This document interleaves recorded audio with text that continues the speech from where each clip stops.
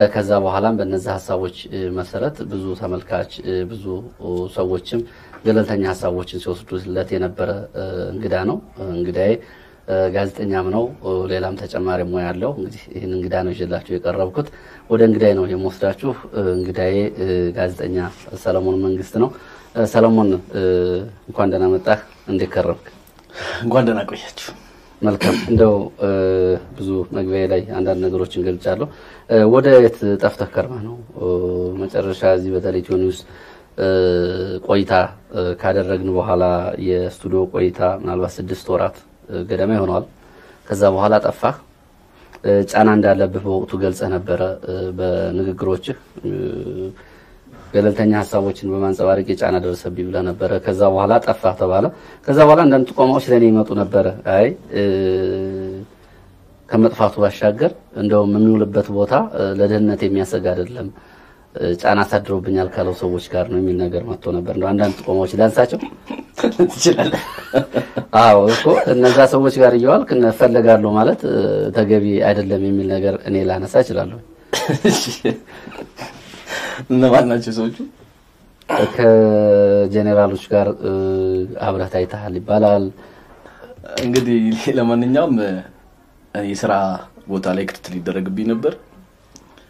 ለደህንነት የማይመች ስለሆነ ስራ ለቅቄ ነው ወደ ሀገር ሄድኩት፣ ወደ ባህር ዳር እና የሕክምና ስራ 13 ዓመት ሀገሬን አገልግያለሁ። ከዛ በኋላ አሁን ስራ ቁሜ ነው የምኖረው፣ ባህር ዳር ውስጥ ነው የምኖረው እና ታዬ የተባለው ግን ከማን ጄኔራል እንደሆነ ብትነግረኝ ደስ ይለኛል።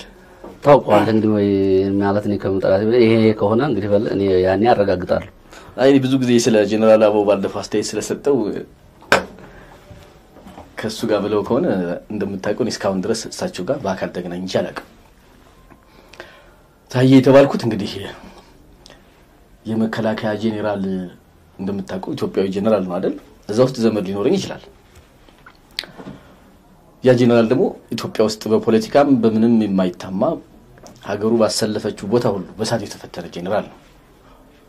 በተለምዶ ባለከሰራው ምንድን ነው ያገናኛችሁ? ቤተሰባዊ ግንኙነት አለን። አድናቂያቸው ነኝ፣ እወዳቸዋለሁ። ምንድን ነው አሁን ያው አጠቃላይ ካለው ሁኔታ አንጻር በተለይ አማራ ክልል ካለው አስቸኳይ ጊዜ አዋጅ አንጻር በዚህ ድባብ ውስጥ መገኘት ምን ማለት ነው የሚለው እኮ ነው። እሱ ነው ግንኙነትህ ምንድን ነው? እኔ ነገርኩህ። ጄኔራል ሻምበል በየነ ማለት በጣም የምወደው የማከብረው ጄኔራል ነው። የቤተሰባዊ ግንኙነት አለን። እሳቸው ደግሞ ለሀገራቸው የታወቁ ጄኔራል በምንም የማይታሙ ናቸው። ይህን ሀሳብ የነገሩ በነገራችን ላይ እነማን እንደሆኑ አውቃለሁ። በተለያየ መንገድ አዎ ምንድን ነው መነሻው ሀሳቡ? ባለፈው ዓመት ለስድስት ወራት ያክል ሚዲያው ላይ በደንብ ደመቅ አልክ። በአጭር ጊዜ ውስጥ ብዙ ተቀባይነት ያላቸውን ሀሳቦች በተለይም ጋዜጣ ላይ ሲጽፍም እኮ ደማቅ ነበርኩ። ትውልዱ ስለማያውቅ ነው። አዎ፣ አሁን አሁን እንደ broadcast media ነው እናወራው። መጣ ሄድክ። ከዛ በኋላ ብዙ እንግዲህ በተለይ ከሀገራችን ከሶስቱ ፖለቲካዊ አታዮች አንጻር ከትግራይ ፖለቲካ፣ ከአማራ ፖለቲካ፣ ከኦሮሞ ፖለቲካ በአንጻራዊነት ማዕከላዊ የሚባል ሀሳብ አንጸባረቅ ማን ልኮት ነው የሚል ነገር ነበረ። በኋላ ደግሞ እንዲህ አይነት ጥቆማዎች ሲመጡ ደግሞ በትክክልም ይሄ ነገር ወደዛ ሊወስድ ይችላል የሚለውን ለማንሳት ነው እየተከራከርኩ ያለው። እንግዲህ እኔ የምን መሰለህ መከላከያ ሰራዊት ጋር ከልጅነት የጀምሮ አድጌያለሁ። በተለይ አምስተኛ ክፍለ ጦር አሁን መንግስት የቀነሳቸው ትልልቅ የትግራይ ባለስልጣናት የሚባሉ ኮሎኔሎች ምናምን ኳስ ስለምጫወት ይወዱኛል። ካምፓቸው ውስጥ ኖር ነበር። መከላከያ ሰራዊት እንደምታውቀው ከልጅነት የጀምሮ ፍቅር አለኝ። አሁን ባለከዘራው ጋር መታየት የታሪክ የሆነው ባለከዘራው በፖለቲካ ስለሚጠረጥሩ አይደለም። እንደምታውቃቸው እሳቸው አሁን በጤና ጉዳት ላይ የሚገኙ ሰው ናቸው። ሐኪም ነኝ፣ እንግባባለን፣ ወንድማዊ ግንኙነት አለን፣ እናወራለን። ይህን ፕሮግራም ግን ለአንተ እንግዲህ የነገሩህ ጀነራል ሻምበል ባልዋሉበት ውጊያ እየመሩ ህይወታቸው አለፈ። እንደውም አንዱ በጣም ታዋቂ ዝነኛ ሚዲያ ተማርከው ሙተው ገንዣቸዋለሁ ከዘራው እጄ ላይ ነው ብሎ እንዲዘገብለት የላከ ሰው አውቃለሁ። እና በጣም ስለገረሙኝ ውሸታ ሚዲያዎችን ታውቃለህ ብዙ አሉ። እና አንደኛ ባለ ከዘራው በዚህ ሰዓት የጤና ችግር ላይ ሆኖ እረፍት ላይ ያለ ሰው ነው። እንደዚህ እንደዚህ አታድርጉ ብዬ ምክር ሰጠሁ። አሁንም ሁለተኛ ዜና ሰሩበት። አውቃቸዋለሁ ሰዎቹ እንደዛ የሚያደርጉትን እና ለባለ ከዘራው በኢትዮጵያዊነት ብቻ የተሰራ really የ military ሰው ቁጭ ብለህ ብታወራው ለሁሉ የኢትዮጵያ ጎሳ እኩል ክብር ያለው ሰው ነው። የኔን ሀሳብ ካልደገፈ ከኔ ቦታ ተጠቅልሎ ካልገባልኝ ብሎ አንድን የተከበረ ጄኔራል ማዋረድ ተገቢ አይደለም። ስለዚህ ባለፈው ለጄኔራል አበባው ለምን ተቆረቆሩ ካልተባልኩ ለፖለቲካ ሀሳባቸው አይደለም።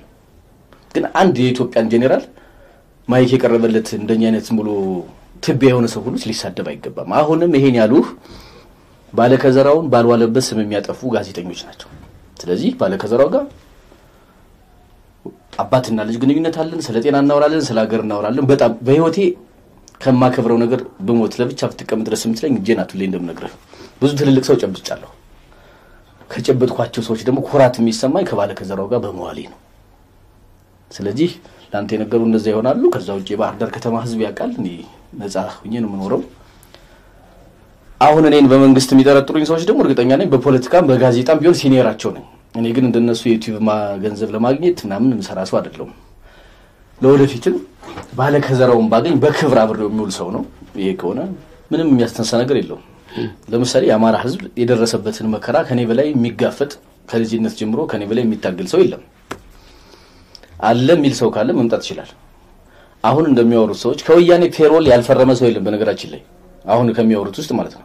እኔ በዚህ የምታማ ሰው አይደለሁም። የአማራ ህዝብ ጥያቄ የሚደርስበት መከራ cause ኡን understand አደርጋለሁ። ስለ መከላከያም በኋላ ብናወራ ደስ ይለኛል። አንደኛ ስድስት ወር ውስጥ ባህር ዳር ተቀምጦ የህዝብን መከራ እንዳየ ሰው ሊጠይቀኝ ይገባል፣ ማውራትም ካለብን ማለት ነው።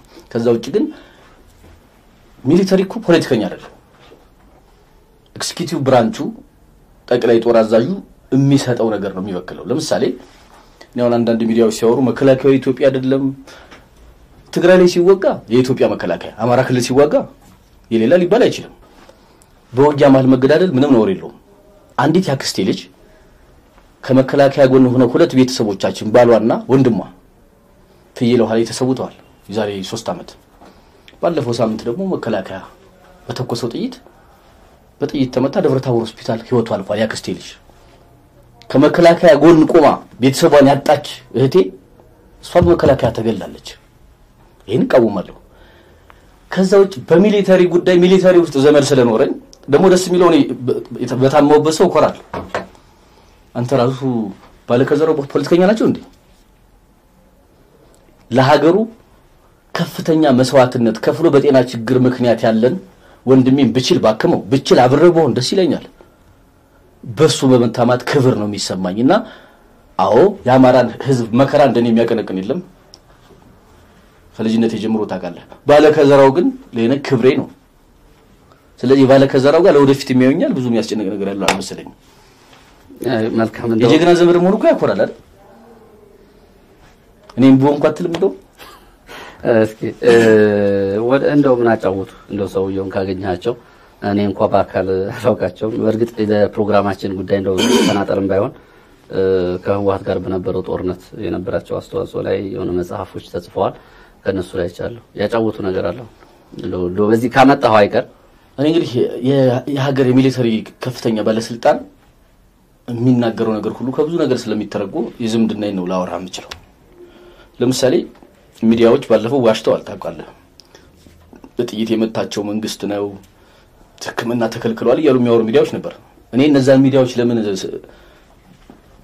challenge እንዳላደረግኳቸው ታውቃለህ?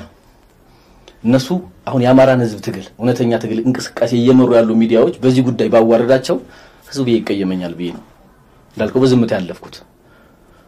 እሳቸው በኢትዮጵያ የ military ደረጃ ከከፍተኛ ክብር የታከሙ አለቆቻቸውን ጀነራል ብርሃኑ ጁላን ጨምሮ ፊልድ ማርሻሉን በክብር የሚያነሱ ቁጭ ብለው እንግዲህ እሳቸው ሁሴን ፋራህ አይዲድ እንትን ማነው አል ኢትሃድ የሚባል ታስታውሳለህ? ድሮ ሶማሊያ ውስጥ የነበረው ጦርነት በኢትዮ ኤርትራ ጦርነት ውስጥ እሳቸው የሁሴን ፋራህ አይዲድን ሚስት ከማረኩት ጀግና የኢትዮጵያ ወታደሮች አንዱ ናቸው። ሰው አሁን ስለሚያውቃቸው ነው እንጂ። ስለዚህ እሳቸው ጋር ቁጭ ስትል የሚያወሩ ስለ ሰው፣ ስለ ሀገር ክብር፣ ስለ ሁሉም ጎሳ ክብር ይሄን ነው የሚያወሩ። ሚዲያዎቹ ግን መንግስት እንዲበድሏቸው ምናምን ይላሉ አይደል? ይሄ ውሸት ነው በሚገባ በኢትዮጵያ የመከላከያ ታሪክ በእሳቸው ደረጃ በክብር የታከመ ሰው የለም። ስለዚህ እሳቸው ይህን ምስክርነት ወደፊት ከሰጡ የበለጠ ያንተ ግን እንዳልኩ ያን ያሉትን ሚዲያዎች እኔ ማልናገራቸው እንዳልኩ በዚህ ሰዓት እነሱን መናገር የህዝቤን ትግል ማኮላሸት ስለሚመስለኝ ብቻ ነው።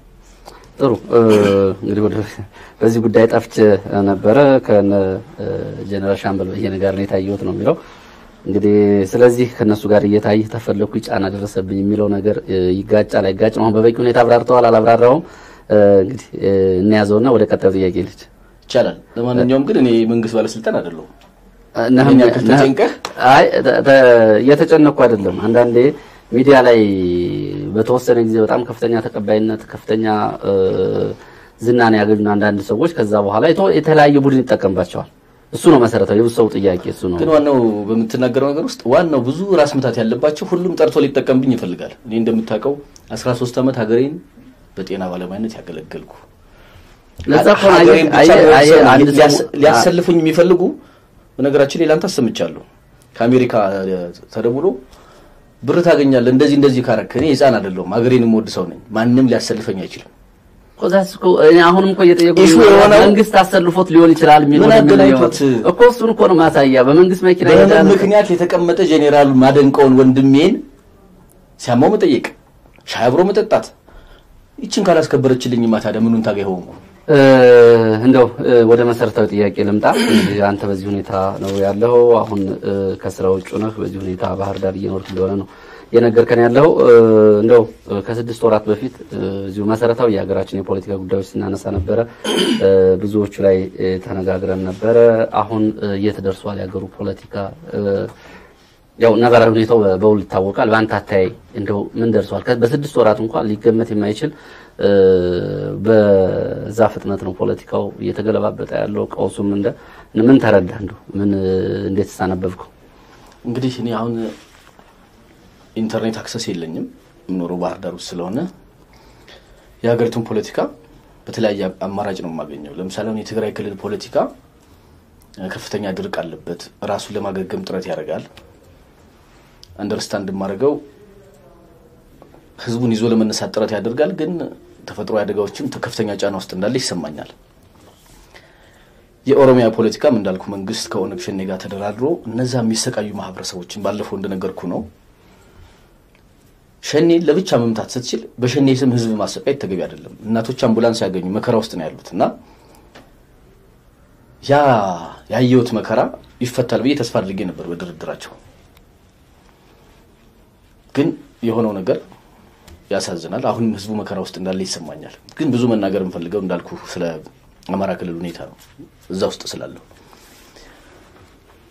ማውራትና መኖር ይለያያል። በል አሁን ድሮ ስለ ትግራይ ስንዘግብ ውስጥ አልነበርንም ማለት እዛ ውስጥ ባለመገኘታችን የምንሳሳታቸው ነገሮች እንዳሉ አሁን ይገባኛል። አሁን ሰሞኑ ኦነግ ሸኔ ጋር አንዱ ድርድር በጣም አሳፋሪነቱ ምን መሰለን? ትጥቅ ወደ ካምፕ ግቡ፣ ከዛ በኋላ ምን ትሆናላችሁ? ብትፈልጉ መከላከያ፣ ብትፈልጉ ፖሊስ ይባላል። ኦሮሞ first የሆነ ሰው military መሆን የለበትም። አማራ first የሆነ ሰው military መሆን የለበትም። military ራሱን የቻለ principle ያለው ነው አይደል? selfless ሆነ ራስክን ለምትወደው ሀገር ደረት ለጥይት የምትሰጥበት ነው። እኔ መከላከያ ሰራዊትን ከኔ በላይ የሚያከብር ጠንቅቆም በክብር የሚያውቅ ሰው የለም። ያን ሳይ okay ለካ የትግራይ ወንድሞቻችን ያልሰማነው ነገር አለ ብዬ አሰብኩ። ስለዚህ ለወደፊትም አማራ ክልል ውስጥ ደግሞ ዜና አዘጋገብ በጣም የሚያሳዝን የዜና አዘጋገብ እሰማለሁ። በተለይ በግልጽ እንዲሰማ የምፈልገው ደረጃ ሀብተወልድ ነው። እንዲህ እንዲህ አይነት አመራር ተሸኝቷል ምናምን ይላል አይደል? በኢህአፓም ጊዜ እኮ እናውቃለን። እንግዲህ አንድ ታጋይ ድርጅት የሆነን ሰው ማስወገድ ካለበት ያ የድርጅቱ ስኳድ ጉዳይ ነው። ያ ስኳድ ሲያስወግድም ዜና ያስፈልገውም፣ ካስፈለገ ደግሞ የራሱ የድርጅቱ አፈቀላጤ ያስፈልጋል። ደረጃ ሀብተወልድ እንትና ተሸኝቷል ካልክ ነገ እንዴት ሰብአዊ ጋዜጠኛ ትሆናለህ? ብር እየተቀበሉ እንትና እንትናን ግደለው የሚሉ ሚዲያዎችም እናውቃለን። አብዛኞቹ እንደ ሽምግልና ደውዬ ነግሬያቸዋለሁ። ስለዚህ እዛ የማየው ነገር ምንድን ነው? መከላከያን እሳት ውስጥ የከተተው executive body ያችን ተሳስቷል ማለት ነው። ቅድም እንዳልኩ ውሃ ከላይ ሲመጣ አደል ንጹህ የሚሆነው ከላይ ምን ተሳስተናል? ህዝቡ ተቆጥቷል። ባለፈውም እንደነገርኩ ነው። ህዝቡ cause አለው። ኮዙ መመለስ አለበት። ለመመለስ ግን በምን ይሄድ ወይ ይደራደሩ፣ ከነዛ ደግሞ professionally ሲዋጉ ከሚዋጋ አካል ጋር ነው መሆን ያለበት። ግን የበከለው ለምንድን ነው? ለድርድር ፈቃደኛ ያልሆነ መሪ ስላለ ነው። ህዝቡ ግን አሁን ትናንትናም ሰምቻለሁ የአማራ ህዝብን ጥያቄ የለውም ፋኖ የራሱ ጥጋብ ነው ምናምን አይደለም። የአማራ ህዝብ ጥያቄ አለው፣ ቁጣም አለው። ታስታውሳለህ? አንድ የህወሓት ታጋይ አሞራው የሚባል ታጋይ ታውቃለህ? የደርግ መንግስት አስሮት ይኖርና አንድ ቀን documentary ሊሰሩ ከእስር ቤት አወጥተው ወያኔ ተሸንፏል ምንም cause የለውም ምናምን በላሉት። እኔ የምነግራቸው አንድ ነገር ነው። እየመጣ ያለው ህዝብ የተቆጣ ህዝብ ነው ነው ያላቸው። በዛ ምክንያት ነው የሞቱት ታውቃለህ። አሁንም የምነግርህ የአማራ ህዝብ ቁጣ ውስጥ ነው። ደግሞ መንግስተ ህዝብ አይደል ዲሞክራሲ የሚባለው በአማርኛ መንግስተ ህዝብ ካለን ቁጭ ብለው ይነጋገሩ። የግርማ የሺጥላ ሞትና አንድ ደግሞ በድንጋይ ተወግሮ የሞቱ አመራር ማን ነው ስማቸው? ደሳለኝ አስራደ። የአማራ ህዝብ በወኪል መተዳደር በተለይ በፎርጅድ ወኪል መተዳደር እንደመረረው የሚያሳየው የሁለቱ ሞት ነው። ግርማ የሺጥላ ጽንፍ ወጥተው ያደረጉትን ታውቃለህ። ከህዝብ ጋር ያቀያየማቸውን ነገር አይ ተመሳስዬ እኖራለሁ። በጣም ሰብአዊ ሰው ናቸው እንደምሰማው ደሳለኝ አስራደ። ጥሩም ሰው ብትሆን ከብልጽግና ጋር ከተገኘ እኛ አይደለም ብሎ ባህላችን ያልሆነ አገዳደል የሚገል ወጣት አለ አይደል? ቆም ቆም ብለን ማስተውት አለብን። ብልጽግና ውስጥ ያሉ ሰዎችም በአማራ የሚወከሉት የህዝቡን ጥያቄ መመለስ ካልሆንኩ ብሎ ስልጣን ይልቀቁ። አሁን አቶ አገኘሁ ተሻገር እንደሚወሩት አይደለም። ህዝቡ ህዝቡ ከፍቶታል፣ ጥያቄ አለ። መልሱ ሊመለስለት ይገባል። ይሄ ነው የሚታየኝ። አዎ እንደው በነባራዊ ሁኔታ ከጠየቁ የፖለቲካ እድገቱን የሀገራችን የት አሁን በአይነህ ያየሃቸውን ምስክርነቶች ነው የዓይን እማኝነቱን የገለጽከው። እንደው ከትግራይ፣ ከአማራ፣ ከኦሮሚያ ካለው ቀውስ ባሻገር የተሻሻለ ነገር አለ በዚህ ስድስት ወር እንደዚህ ጥቅር የተሻሻለው ነገር እንግዲህ ምን መሰለህ፣ constitutionalism ብለው ነገር አለ አይደል? አንድ መንግስት ለጻፈው ህገ መንግስት መገዛት አለበት። ለምሳሌ immunity ምነው ያለመከሰስ መብት ክርስቲያን የተከበሩ አቶ ክርስቲያን ታደለን ማሰር ከፈለክ አንጠልጥሎ ከምታስራቸው ፓርላማውን ሰብስበህ ያለመከሰስ መብታቸውን አንስተህ ብታስራቸው አቶ ዮሐንስ ያለውንም ትናንትና የታሰሩት አቶ ታዬ ደንደአንም አንጠልጥለህ ስትወስድ አንድ ነገር ምልክት አለው። መንግስት እኛን ሊገዛበት በሚፈልገው ህግ መሰረት እሱ እንደማይገዛ ያሳያል። ጊዜ አቶ መስሎ ነው አይደለም። ከዚህ ጊዜ ጀምሮ በህግም አልገዛም እያለ ነው እንጂ ፓርላማውን ሰብስበው ታውቃለህ፣ ታዛዥ ፓርላማ ነው አይደል?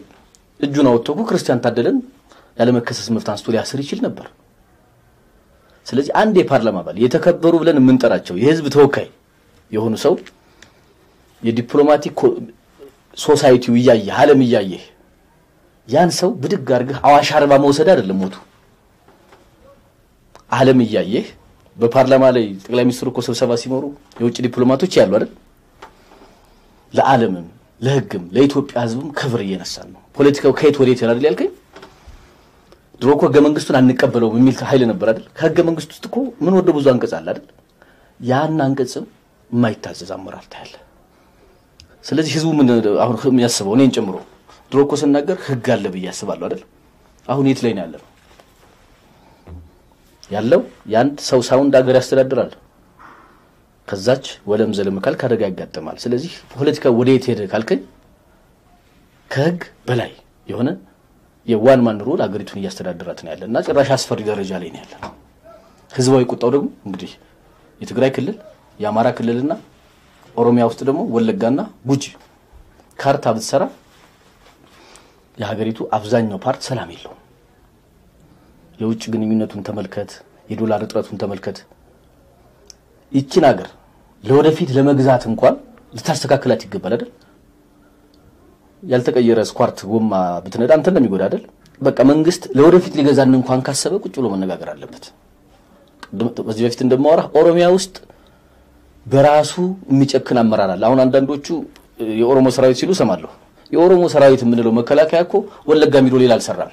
የኦሮሞ ሰራዊት ኦሮሞን ገደለ ብለህ ዜና መስራት አለበት አይደል? ሰራዊቱ የተበረዘው ከላይ ከአመራር ደረጃ እንጂ ከጎሳ ጋር ማታያይዘው ራሳቸውን ችለው አገር እያጠፉበት ያለበት ነገር ስላለ መስተካከል ያለበት እዛ ላይ ነው ብዬ ነው የማስበው። ግን እንዳልኩ ወዴት እየሄደ ነው ካልከኝ ቋፍ ላይ ነው ያለ ነው። እሺ ቀውሱ እንደዚህ ሆነ፣ አሁን በገለጽከው ልክ ሆነ። በዚህ ውስጥ ግን እንደዚህ ሀገር ቀውሱ ሲገባ ሚና ሊኖራቸው የሚገቡ ተቋማት አሉም። በውጫዊ በውስጣዊ መንገድ እነዚህ ተቋማት ቅቡልነት እንዳይኖራቸው ማድረግ በኩል ያለው ነገር ያው እኔም አንተ የምንረዳው እንዳለ ሆኖ ግን አዎንታዊ ሚና በመጫወት በኩል ደፈር ብለው ወጥተው መናገር ያለባቸው ሃይማኖት አባቶች ምን እያደረጉ ነው? ምንስ እያሉ ልክ ነው። ከዛ በፊት ስለ አማራ ሕዝብ እንቅስቃሴ አንድ ነገር መናገር እፈልጋለሁ። አስር ቦታ ተከፋፈለ፣ ስምንት ቦታ ተከፋፈለ። እያሉ የሚያወሩ ሰዎች ይሰማለሁ። ውጭ ያሉት ደግሞ ምድር ላይ የሚሞት ሰው አለ፣ ውጭ ደግሞ ሊነግድ የሚፈልግ ኃይል አለ። እውነት አማራን የሚወዱት ከሆነ ሞቱን የሚቀንሱበት የአማራ ሕዝብ በፎርጅድ ሰው እንዳይተዳደር ራሱን እንዲያስከብር ቢረዱት ቢዝነስ ከሚሰሩበት ምንድን ነው የሚለው እኛ ሀገር ሰው አሳው እያማራት ውሃው እየጠማት አባይ ዳር ነው ቤቴ ብትል ማን ሊሰማት ይላል። እናት እየተገደለች አማራ ተዋርዶ በዚህ ሰዓት ሳታግዘው ለአንተ interest ገንዘብ እየተቀበልክ ሞቱን እያፋጠንክ ሚዲያ ዘገባ እየሰራበት ከልብ የማሰራለት ከሆነ አማራ ነኝ ብትል የሚሰማ የለም። አማራ የሆነ ሰው ህዝቡን ከመከራ ለማውጣት አንዱ ነው የስራ ሲሰራ ደግሞ እኔውም ባለፈው አንድ እንትን ሰምቼ ነበር። የእንትና ህዝብ ከእንትና ሸለቆ መጣ ምናምን ይላል። የአማራ ተወካይ ነኝ የሚል ሰው ነው። አሁን ያ ንግግር በዚህ ሰዓት አማራና ኦሮሞን ከማጣላት ምን ይፈይዳል? እውነት አዲስ አበባ ቢሆን ያን ንግግር ይናገረዋል? ውጭም ስንሆን ህዝቡን ተሸክመን መዞር አለብን። ያን አይነት እንቅስቃሴ እንዲኖር አጽንኦት ለመስጠት ነው። ያው እንግዲህ አውርቼ ስለማላውቅ መሰለኝ ፈጠን ፈጠን እያልኩብ ነው። አዎ ወደዚህ የጠየቁት ጥያቄ አልመለስኩም። ያንተን ማሳሰቢያ ያስቀድመው። አዎ ለጥያቄ ልመለስ። ጥያቄ የሃይማኖት ተቋማት እንግዲህ የሚጠበቅባቸው ምንድን ነው? የእምነታቸው ዶግማና ቀኖና በሚያዘው መሰረት መስራት ነው። ለምሳሌ የሰው ልጅ የተሻለ ህብረት እንዲኖረው፣ ሰው ከራሱ ጋር እንዲታረቅ፣ ከባልንጀራው ጋር እንዲታረቅ፣ ለሀገር ለመንግስቱ ደግሞ የሰከነ ዜጋ እንዲኖር መስራት ነው የሁሉም ሃይማኖት አባት ስራቸው። ወደ እግዚአብሔር የሚሄዱበት የራሳቸው ፓዝ ሊኖር ይችላል። ደግሞ እነ ክርስቲያን በጣም የሚገርመኝ ነገር ልንገርህ። እንትኖች የሚሉት አለ ለንደን ሁለት መጽሐፍቶች አሏት። የመጀመሪያው መጽሐፍ መጽሐፍ ቅዱስ፣ ሁለተኛው መጽሐፍ የሼክስፒር መጽሐፍ ነው። የሼክስፒርን መጽሐፍ ለንደን ሰራችሁ፣ ለንደንን ግን መጽሐፍ ቅዱስ ሰራት ይላሉ። በመጽሐፍ ቅዱስ የሚያምን ሰው ዘረኝነት አይሰብቅም። ከሚሞት ህዝብ ላይ ደግሞ ሌላ እሳት አይጨምርም። አሁን ግን የማየው ልንገርህ። ለምሳሌ አንድ የላሊበላ ደብር አባት የነበሩ ሰው ሲያወሩ ሰምታችኋል? የሆነ conversation አለ። ታየ ደንዳ እንኳን ሰው ሆኖ ምናምን የሚሉ መነኩሴ አይተሃል? ወለ ገብርኤል አባተ ወር ምናምን ይመስሉኛል። እንዴት አንድ የክርስቲያን አባት በዛ ልክ ሰው ይሳደባል? ጋዜጠኛውም እኮ ሊያርቃችሁ ይገባል አይደል? እኔ እዚያው መስመር ስወጣ ካየኝ ከሚዲያ ህግ ውጭ ከሰብአዊነት ውጭ ስወጣ ካየኝ ልትመልሰኝ ይገባል።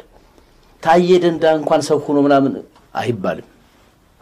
እንዲህ አይነት ባፋቸው መርዝ የሚተፉ ፉኝቶችም አሉ። ያን ደግሞ ይዘው የሚጮሁ ጋዜጠኞችም አሉ። ይሄ በጣም የሚያሳፍር ነገር ነው። የሚያስደስት ነገር ደግሞ ሲገኝ ደግሞ አለማመስገን። ለምሳሌ አቡነ ኤርሚያስ እንግዲህ ቤተ ክርስቲያን አንድን ጳጳስ የምትሾምበት የራሷ ስልጣን ህግ ደንብ አላት። ጳጳሴ ነው ብላ የሾመችውን ሰው አከብራለሁ፣ በክፉ የሚነሳ በደግ አቡነ ኤርሚያስ ግን ስማቸው እንደ ሽቶ አልፎ የሚሸት ትልቅ ሰው ናቸው። ምናልባት ትግራይ ላይ እዚህ ያሳዩትን ነገር ትግራይ ላይ አላሳዩ ሊሆን ይችላል። ዩኒቨርሳሊ ስናያቸው ግን አሉን ከሚባሉ ጳጳሳት ውስጥ የተከበሩ ጳጳስ ናቸው። እዛ ላይ ተገኝተው ምን ተናገሩ? የመከላከያ ሰራዊት ፋኖ ከወጣ በኋላ ዘርፏል፣ አበላችሁ፣ አጠጣችሁ ተብለው ሰዎች ተገለዋል አላሉ? ይሄ ብቻ እኮ State Department ቢቀር የአማራን ህዝብ መከራ ያሳይ ነበር።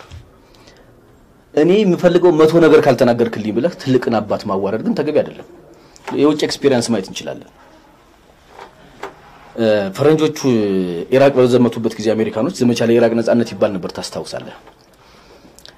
ፖፕ ቲዲ ጄምስ የሚባሉ አንድ የፕሮቴስታንት ጳጳስ ይሄ ዘመቻ ኢራቅ ውስጥ ኢየሱስ ይገባ ዘንድ መልካም ነገር ይፈቅዳል ብለው ተናገሩ።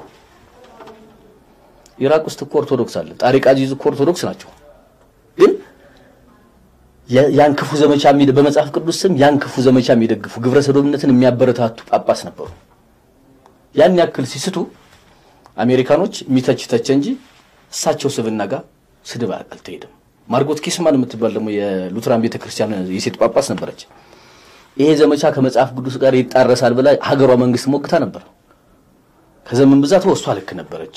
ፖፕ ቲዲ ጄምስ ደግሞ ሲጋበዙ የኢራቅን ዘመቻ ደግፈዋል፣ ንስሐ ይገባሉ ይባላሉ። ከዛ ውጭ አታዋርዳቸው። እኛ አባት ግን ምንድን ያሉት? መከላከያ እንደዚህ ነው መንግስት የሚጠቅመውን ወስዶ በአማራ ቴሌቪዥን ይለቀቀው አይደል? አንተ ማድረግ ያለብህ ይሄን ነው። ከዛ ውጭ መቶ ፐርሰንት ጌታችንም አላወራም። ነገራችን ለመጽሐፍ ቅዱስ ውስጥ ችን አመንዝራ ሴት የሙሴ ሕግ ውገሯት ይላል እና ትወገር ወይ ብለው ጌታችን ይጠይቁታል። እንግዲህ በሮም አይደል የሚያስተዳድሩት። አንድ እስራኤላዊ ከመገደሉ በፊት ሮሞች ነው የሚወስኑት። በሞት ፍርድ ማንም መፍረድ አይችልም። ትወገር ብለው ቢያስወግራት ለጣሊያኖች ሊያስይዙት ፈልገው ነው። አይ አትወገርም ቢል የሙሴን ሕግ አትቀበልም ሊሉት ነው።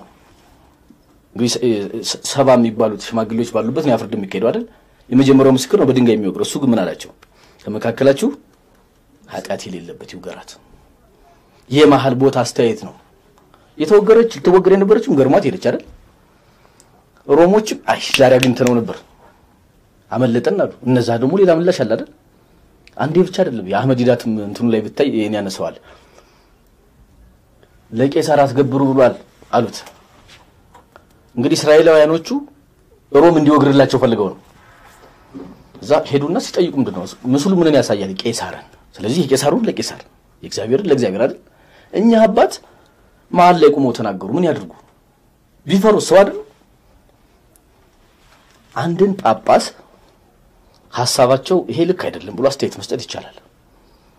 ለሴት መኪና ገዙ፣ ይሄን ያክል ብር ደብቀዋል እያሉ የቤተ ክርስቲያንን አባት ማዋረድ ግን ኦርቶዶክስ ስለሆንክ የሰራው ሽብር ላይ ገባ ይችላል፣ ግን ነውር ነው። ባለፈው አቡነ ሳዊሮስን ታስታውሳለህ? እንዲህ እንዲህ እያሉ አሟቸው አይደል? ቤተ ክርስቲያን አንድን የተከበሩ አባት ልጅ አላቸው ብሎ መናገር ሊኖራቸው ይችላል፣ ላይኖራቸው የእኛ ጉዳይ አይደለም። የጳጳሳት ጉባኤ መግለጫ እስካላወጣበት ድረስ ግን አንድ ምዕመን ተነስቶ ያን ማድረግ አይችልም። ይኸው አሁን በምህረት ገቡ አይደል? ማን የተዋረደው? ቤተ ክርስቲያኑ አይደል? የቤተ ክርስቲያኑ ሚስጥር ለራሱ መስጠት አለብን። ስለዚህ ከቤተ ክርስቲያን አባቶች ውስጥ እውነት የሚናገር ሲገኝ ብንቀበለው መቶ ፐርሰንት እኮ ላይ ያወራ ይችላል። አዎ ግን ምንድን ነው በወቅቱ በኢትዮ አሁን ባለው ፖለቲካ ውስጥ አንድ መከራ እየተቀበለች ያለች የኢትዮጵያ ኦርቶዶክስ ተዋሕዶ ቤተክርስቲያን ነች። ይህን አንተም በተደጋጋሚ ገልጸዋል። በዚች ቤተክርስቲያን ውስጥ የሚፈጸመውን በደልና መከራ የሚያውቅ የሃይማኖት አባት ያውም ደግሞ በዛ ውስጥ ያለ ሰው ጉዳዮችን በዛ ልክ ሲያይ ሌላው ሰው ሊበሳጭ ይችላል። ከዛ አንጻር አይታይም። ጥያቄው እኮ ምን መሰለህ፣ ሰውየው በንግግራቸው ወቅት ፖለቲከኛ ነው አይደል? ፖለቲከኛ መቶ ፐርሰንት እውነት ያወራል እንዴ? አያወራም። አንድ ጳጳስ እሳቸው ሲናገሩ ምን ብለዋል? ባለኝ መረጃ በማውቀው እናገራለሁ ብሏል የጀመሩት። ከሚያውቁት አንጻር ያን ተናገሩ። በፖለቲከኛ ብስጭት ልክ አንድ አባት አያወራ። ምክንያቱም emotional intelligence ኣቸው እንደኔና እንዳንተ አይደሉም። ራሳቸውን በጾም በጸሎት ያረቁ ሰው ከኔና ካንተ እኩል ካልተበሳጩ አትልም። ግን እኮ እውነቱን ተናገሩልህ። ዓለምን ይወቅልህ። አንድ የተቀደሰ ጳጳስ መከላከያ ከወጣ ማን ነው ፋኖ ከወጣ በኋላ ዝርፊያ ተፈጽሟል። አበላሽ ተብላ እናት አባት ተገሏል አላሉ? እኔ እኮ የምፈልገው ምንድን ነው? እኔም ሰው እንዳይገድልብኝ አይደል? እኔን ማን ይሰማኛል? አንድ ጳጳስ ይሄን ከተናገሩልህ የሚደረገው ውጊያ conventional ም ሊሆን ይችላል፣ ላይሆን ይችላል። ግን ሰብአዊነት ጎድሏል። እናቶች፣ ህፃናት እየሞቱ ነው። ዝርፊያ እየተካሄደ ነው። ያውም professional ሰራዊት ይሄን አድርጓል ካልክ ምስክሩ ማን ናቸው? እኚህ ሰው ናቸው አይደል? መቶ ፐርሰንት ባይሆን ችግር የለውም። የቤተ ክርስቲያን መከራ ለምትለው የቤተ ክርስቲያን መከራን በመታገል የሚታወቁት እኮ አቡነ ኤርሚያስ ራሳቸው ናቸው። እንደውም እሱን ጥያቄ ካነሳ አንተ ልጠይቅህ። ቤተ ክርስቲያን ብዙ መከራ እየደረሰባት ነው። ቤተ ክርስቲያን እየፈረሰ ነው። ምእመን እየተገደለ ነው። ኦርቶዶክስ የሆነ ሰው አማራ እንኳን ባይሆን አማራ ነው ተብሎ እየተገደለ ነው። ይህን ታውቃለህ። ይህን አንድ ጳጳስ አቡነ ሉቃስ ይመስሉኛል ሰው እያለቀ ነው ብለው ሲናገሩ አቡነ ጴጥሮስ ተነስተው ዝም የሚያስብሉት ለምንድን ነው? አቡነ ጴጥሮስ እኛ የምናውቀው ይኸውልህ ሐዋርያው ጴጥሮስ በመጽሐፍ ቅዱስ ውስጥ የሚታወቀው ፊት ለፊት በመናገር ነው። ጌታችን ሲሰቃይ የነበረ ቀን የዶሮዋን ስህተት ብቻ ብታወጣ ፊት ለፊት በግልጽነት በመናገር በአንደበቱ የሚታወቅ ሰው ሐዋርያው ጴጥሮስ ነው። አቡነ ጴጥሮስ ሕዝብ እየተገደለ ነው፣ አገር እያለቀ ነው ሲባል አይባልም። ይህ ጥያቄ ለአቡነ ኤርምያስ ሰው ለአቡነ ጴጥሮስ ነው መቅረብ ያለበት። አቡነ ጴጥሮስ የሚባሉ የኢትዮጵያ ሶስት ጳጳሳት ትጥራለህ። ሱስንዮስና አቤቱ ያዕቆብ ሲዋጉ ታውቃለህ። አቡነ ጴጥሮስ የሚባሉ ጳጳስ ሞተዋል በእርስ በርስ ጦርነት። ሱስንዮስ የተጠላው መጀመሪያ በዛ ነው ታውቃለህ። ከዛ በመቀጠል ጣሊያን መከራ ባመጣብን ጊዜ በመትረጌስ ስለኛ ተደብድበው የሞቱት አቡነ ጴጥሮስ ናቸው። ሶስተኛው ጴጥሮስም መሆን ያለባቸው ይሄን ነው። የኢትዮጵያ ጳጳስ ከሆንክ ለትግሬም ለአማራም እኩል መጮህ አለብህ። ለዩኒቨርሳል ነገር ደግሞ መገዛት አለብህ። ሰው የትም ቦታ ይገደል አይደል? አንድ ጳጳስ እርማችን አግኝተን አረ ሰው አይሙት ሲባል ዝም ማስባል ይሄ ተገቢ አይደለም። መተቸት ካለብን ይሄን ነው መተቸት ያለብን። ያኛው ጳጳስ እኮ አምሳ እውነት ከተናገሩልኝ እኔ እንደ ፖለቲከኛ እንደ ጋዜጠኛ ያን ማቅረብ ነው ያለብኝ። ስለዚህ የጠየቀኝ ጥያቄ ለአቡነ ኤርሚያስ ሳይሆን ለአቡነ ጴጥሮስ ቢሰጥ ነው የተሻለ የሚሆነው። መልካም ያው እንግዲህ ከራስ አቋም አንጻር ነው። አንዳንዱ መከላከልም ይመስላል። በእርግጥ የራስን ማሳያዎች አቅርበሃል። ማንም መከላከል ይመስላል። እንግዲህ ተመልካቾች እንደው እስኪ ወደ ሌሎች ጉዳዮች እንለፍና ቀጠናዊ ጉዳዮች እናውራ። እንግዲህ በዚህ ስድስት ወራት ከሚዲያ ከጠፋ በኋላ አንተም አንዳንድ ጉልህ ለውጦች ተብሎ ልታዩ ይችላል። ጥያቄ እኮ እንትን ነው ከሚዲያ ጠፋ ሳይሆን ሰው ከስራው ከተባረረ ከዘመድ መጠጋቱ ያለ ነው። እውነት ነው። እንትን የሸፈትኩ አስመሰልከኝ እኮ። አዎ አይ ሚዲያው በአጠቃላይ በውጫዊ በውስጣዊ ጫና ምክንያት መጥፋት ለማለት ወደ ጥያቄ ልመለስ። እንግዲህ በአሁን መነጋገሪያ የሆነ አንድ ደግሞ አገራዊ የፕሮጀክት ልትለው ትችላለህ። የኢትዮጵያ የባህር በር ጉዳይ መነጋገሪያ ሆኗል። በዚህ ጉዳይ ላይ ኢትዮጵያ የባህር በር የማግኘት ወይ ደግሞ ለባህር በር በዚህ እንግዲህ በተለይ ዝቅ ሲል ጉዳዩ የወደብ ጉዳይ ይሆናል፣ ከፍ ሲል የባህር በር ነው የሚሆነውና በዚህ ጉዳይ ላይ አሁን ሚዲያዎቹም የመንግስት አቅጣጫ የሚመስል መልኩ በተለይ ባለፈው ላለፉት ሁለት ወራት ዋና ጉዳይ ሆኗል። በዚህ ላይ አስተያየት አለ? እንግዲህ ልጁንን የዶክተር ያዕቆብን መጽሐፍ ያላነበበ ሰው የለም።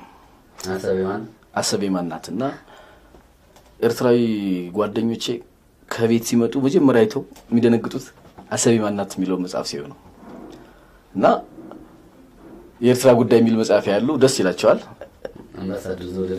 ኤክሶደስ የሚል ደግሞ የነሱ ልጅ የጻፈዋል እና ግን ሁሉም ኤርትራዊ ከቤት የገብተው መጽሐፍ መደርደሪያ ላይ ሲያዩት አሰቤ ማናት የሚለው ድንግጥ ሲሉ ያቸዋል። እንዴት ማስመለስ እንዳለብን እንዴት ማግኘት እንዳለብን ዶክተር ያዕቆብ የህግ እውቀታቸውን ተጠቅመው አስረድተውናል። ኢትዮጵያ ክላይ የምታደርግ ከሆነ በሰላማዊ መንገድ ትሄዳለች። አሁን ይሄ ጥያቄ እንዴት መጣ ነው? ትለብሶ የላት ትከናነበው አማራት ይባላል ታውቃለህ። ኦሮሞ እንቅልፋቱ፣ አማራው እንቅልፋቱ፣ ትግሬው እንቅልፋቱ፣ ሌላው የኢትዮጵያ ህዝብ ደግሞ በ economic ጫና ባለበት ሰዓት ያን ማሰብ ጊዜው ነው ወይ? ያን ማሰቡ ደግሞ በዲፕሎማሲ ሊሆን ሲገባው ጦር አውርድ የበዕውቀቱ ስዩም እንትን አለ አይደል? ይሄ ዋርካው ጥላ ገባ ብለው ጦርነት ያወጁት የኢትዮጵያ ነገስታት ታሪክ መሆን የለበትም። ኢትዮጵያ ወደብ ያስፈልጋታል። እንደውም ብሩኪንግ የሚባል የኳታር ግን እንደው መግቢያ እንደስተካከል እንጂ አሁንም በዲፕሎማሲያዊ መንገድ ሰጥቶ በመቀበል አይነት ነገር ሲባል ሰምቻለሁ። እንደውም ግዙፎቹን የኢትዮጵያ ተቋማት ጭምር ለዚህ ጉዳይ እናቀርባለን እንጂ ወደ ጦርነት እንሄዳለን የሚል ቃል በቃል ቅድም የሚዲያ ላይ ለሚዲያ ፍጆታ የዋለ ፕሮፓጋንዳ የሚል አየር መንገድም ቢሆን አባይ ግድብም ቢሆን አሲዘን ወደ ማግኘት አለብን የሚለው እንግዲህ ወደ ጦርነት ላለመሄድ ምን ያክል ትልልቅ የሀገሪቱን ንብረቶች ለማስያዝ የተደረገ እንቅስቃሴ ተደርጎ ሊታይ አይችልም። መጀመሪያ ቅደም ተከተሉን ያዘው እኮ ለምሳሌ ኤርትራ ላይ ጦርነት አልታወጀም ብለሃል። እንግዲህ በዲፕሎማት ቋንቋ እኮ አባይን እሰጣለሁ ምናምን አይሰራም። ኮሚቴ አቋቁመህ የኢትዮጵያና የኤርትራ የ diplomatic ኮሚቴ ተቋቁሞ ምሁሮች ሊያወሩበት የሚገባ ጉዳይ ነው። በዛ process ውስጥ ካለፈ በኋላ ደግሞ ለሀገርህ ታቀርባለህ ጉዳይ ይሄን አድርጌ እንዲህ እንዲህ ሆኗል፣ ምን ይደረግ።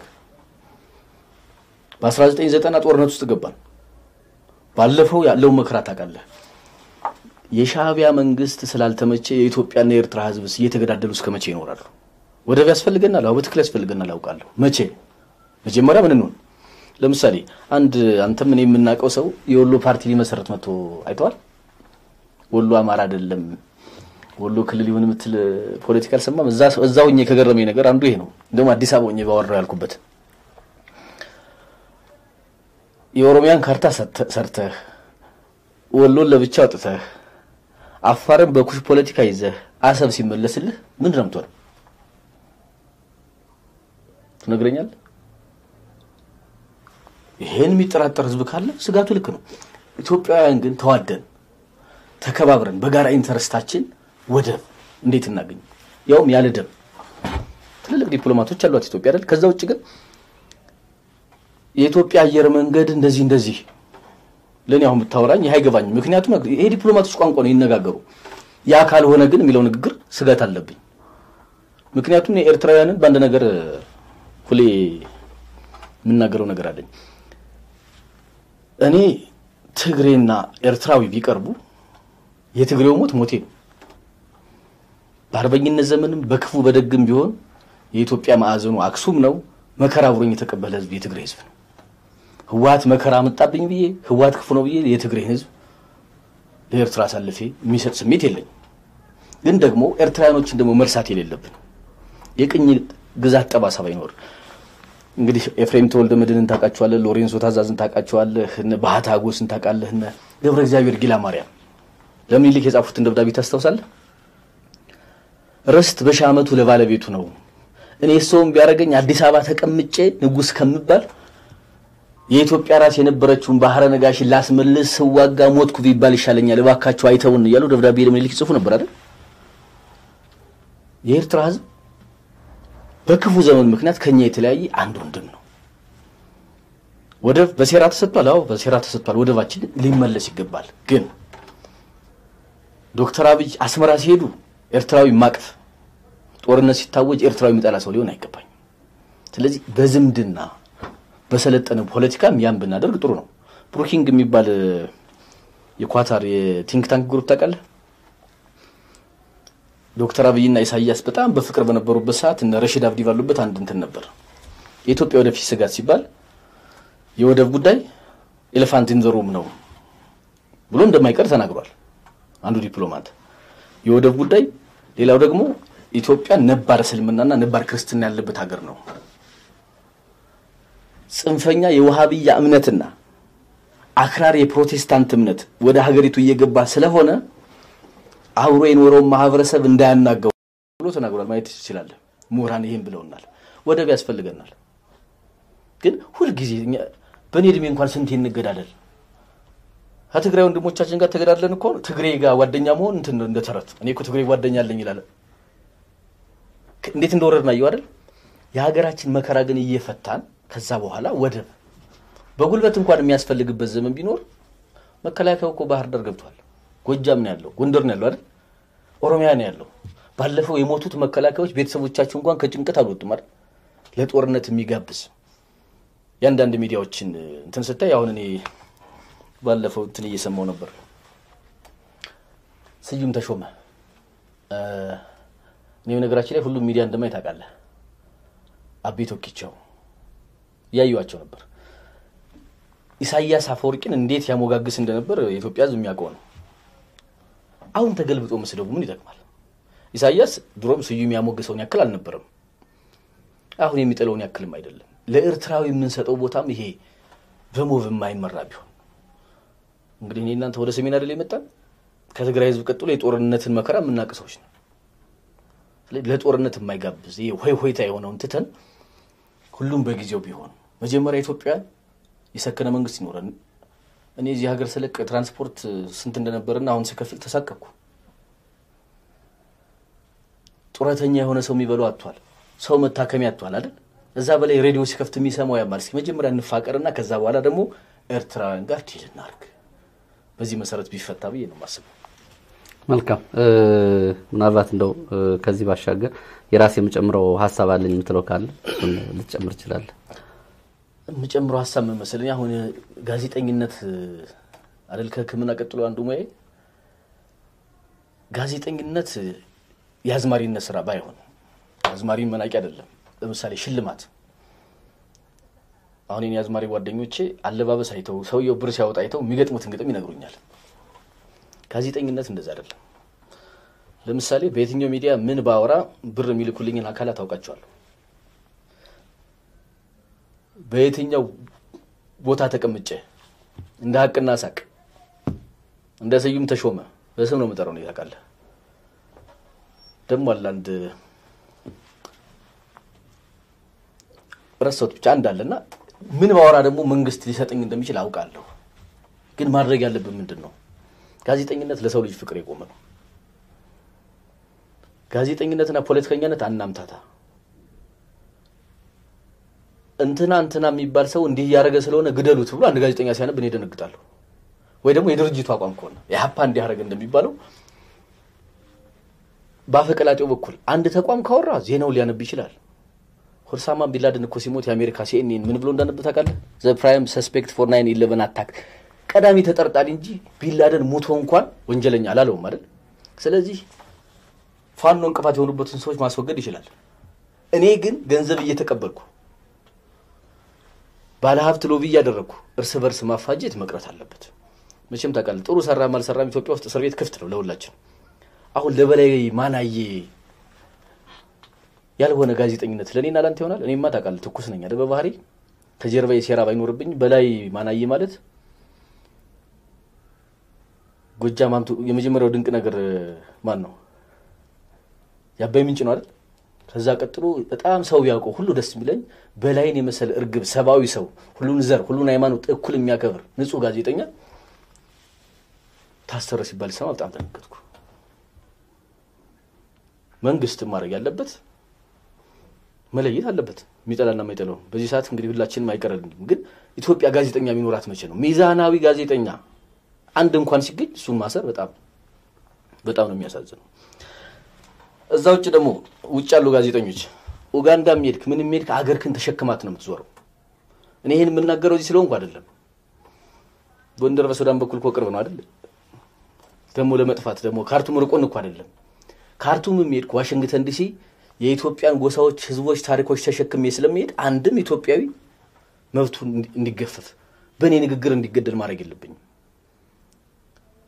እንዲህ እንዲህ የሚባል ሰው እንዲህ አድርጓል ብለው ሰሞኑን የተገደለ ሰው አውቃለሁ በውሸት ይሄን ያደረገው ግን የጋዜጠኝነት ሚዛን ያልገባው ባዶ ጭንቅላት ያለው ጋዜጠኛ ነው።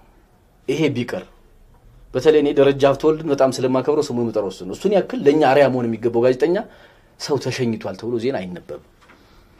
መገደል ያለበት ሰው ደግሞ ከተገደለ ያ የድርጅት ጉዳይ ነው። ሐማስ እንትናን ገደልኩ ብሎ መግለጫ ይሰጣል አይደል? በዓለም አቀፍ ሕግ ብንመራ እንጂ ለኢትዮጵያ ሕዝብ አረመኔነትን እንደ ቀላል የዩቱብ ጋዜጠኞች እያስተማሩ ስለሆነ ያ ነገር ቢስተካከል ነው የምልህ።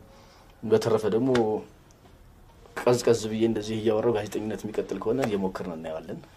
መልካም አመሰግናለሁ ሰለሞን። እንግዲህ እንዳልከው በአስቸጋሪ ሁኔታ ውስጥ ነው ያለው። አጠቃላይ በተዛምዶ ፖለቲካውም የፖለቲካ ፍላጎቱም በጋዜጠኞች ላይ በራሱም ሆነ በቀጥታም ሆነ በተዘዋዋሪ ተጽዕኖ አለው። ከዚህ አንጻር በርካቶች ሰለባ ሆነዋል። እንግዲህ የእኛ ሚዲያ ለመዘጋቱን እንግዲህ ያው ከላይ ከገለጽከው ከበላይ ጋር በተያያዘ ያው ያለውን አጠቃላይ ጫና ታውቀዋለና ምናልባት ሁኔታዎች የሚስተካከሉ ከሆነ እንዳልከው ወደፊት ብዙ ሀሳቦች እንድታመጣ ትችላለህ። ዛሬ ግን በአስቸጋሪ ሁኔታ ውስጥ ምናልባት ከበርካታ ወራት በኋላ ስቱዲዮ ተገኝተህ ሀሳብን ስላካፈልከኝ በጣም ነው የማመሰግነው። አድማጭ ተመልካቾቻችን ከጋዜጠኛ ሰለሞን መንግስት ጋር የነበረን የመጀመሪያ ቆይታ ይህንን ነው የሚመስለው። ወደፊት እንግዲህ በሁኔታዎች ላይ በተመሰረተ መንገድ እየተገናኘን ሀሳቦቹን በቋሚነት የሚያቀርብበት ወይም ደግሞ እንደዚህ በእንግድነት የሚቀርብበት ሁኔታ ይኖራል። በአዲሱ ቻናላችን ስለምትከታተሉን በጣም ነው የማመሰግነው። እንግዲህ እኔ ከተሰናበትኩ በኋላም እድልም ካለ የምትለው አመሰግናለሁ። መልካም የነበረን ቆይታ ይህን ነበር የሚመስለው። ስለነበረን ቆይታ በድጋሚ አመሰግናለሁ። መልካም